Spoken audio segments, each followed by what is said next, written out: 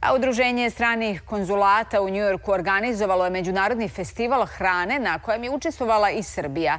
Događaj je održan u zgradi Turskog konzulata koja se nalazi preko puta Ujedinjenih nacija.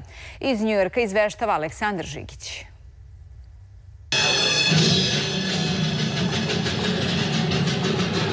Na festivalu hrane u Njurku zatičemo predstavnike raznih konzulata koji su donijeli neka od najpopularnijih jela iz svojih zemalja, od Malezije preko Meksika do domaćina Turske. Naravno prisutna je i Srbija.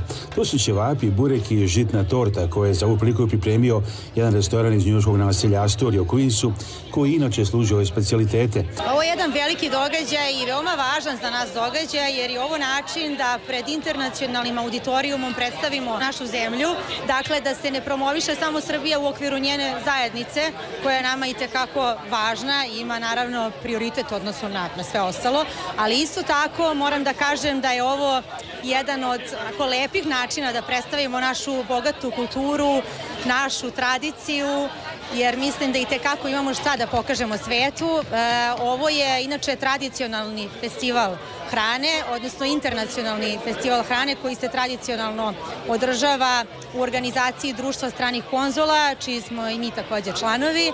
Tako da eto sa ponosom predstavljam ovde našu zemlju, našu veoma bogatu kuhinju, tradiciju i moram da kažem da onako imamo veoma lepe, lepe utiske večeras, što od strane naših inostranih kolega, koji su takođe članovi društva stranih konzula, tako i od svih divnih ljudi koji su večeras posetili ovaj festival.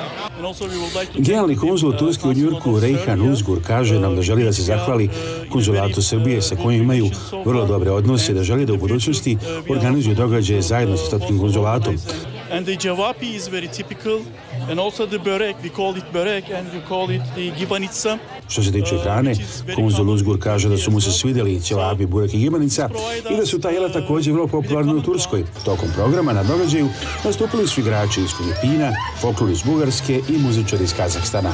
Bio ovo izuzetan događaj, kao što su rekli neki od posetilaca hrane, najbolji način da se približe i bolje upozna ljudi iz celog sveta. Takođe, bila je to prilika za posetilaca da saznaju više o hrani iz Srbije i da je proboj ovde na licu mesta preko puta same zgrade Ujednih nacija. Specijalno za RTS iz Njurka, Aleksandar Žigić. A u posljednjih sat vremena vidjet ćete i ovo.